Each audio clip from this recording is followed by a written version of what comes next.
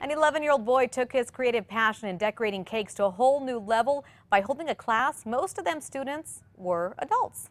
You take how much white you have and you go just a little bit less of that with the brown. Jason Everett is in Albuquerque with the International Cake Exploration Society, also known as ICES.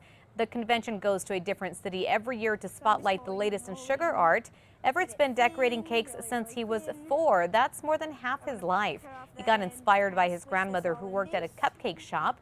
He says he's the youngest kid to that he knows that has his own demo table at ICES. It's fun just to meet new people. I mean, um, and doing what I'm doing right now.